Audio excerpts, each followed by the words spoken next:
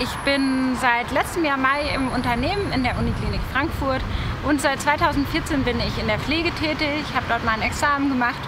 Ich liebe meinen Beruf, also ich mag die Patientenversorgung. Ich finde es ein toller Job, der ähm, Erkenntnisse aus der Medizin, ähm, aus der Bewegungslehre, aus der Anatomie alles zusammenbringt mit der Vertrauensarbeit.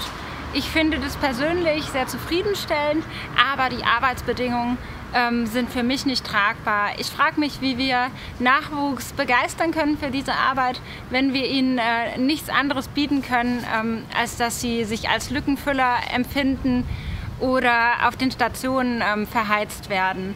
Genau. Für mich ist ganz wichtig oder was mir wichtig ist zu sagen, ähm, liebe Pflege, kommt zu Potte und organisiert euch. Ein Tarifvertrag verhandelt sich nicht von alleine und auch ein Entlastungstarifvertrag verhandelt sich nicht von alleine. Da steckt Arbeit dahinter und Organisation. Ähm, normalerweise steht euch nur ein gesetzlicher Mindestlohn zu, es steht euch nur ein gesetzlicher Urlaubsanspruch zu. Das ist weitaus weniger.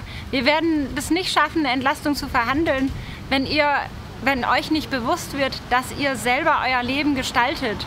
Es kann nicht die Lösung sein, dass ihr euch einen anderen Beruf suchen müsst oder dass ihr irgendwann reduziert oder ins Krank, ins Dauerkrank oder äh, sonstiges geht oder euch dann in Familienpläne flieht und denkt, ja, wenn ich dann Kinder kriege und zu Hause bleiben kann, dann ist es erst richtig schön.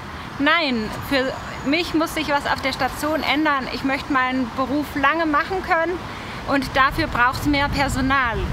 Auf meiner Station ist der Schlüssel, wenn es gut läuft, drei Patienten pro ähm, Pflegekraft. Das ist, ähm, würde ich mal sagen, im Vergleich zu anderen noch gut, klappt aber nur, wenn keiner fehlt. Wir haben kein Ausfallmanagement. Für viele andere Stationen sieht das anders aus. Dort gibt es keine Pausen, du kommst nicht zum Essen, du schläfst nicht mehr ruhig, weil du nicht weißt, hast du was vergessen, ist der Patient sicher versorgt. So darf das nicht sein und so muss es nicht bleiben. Lasst euch nichts gefallen.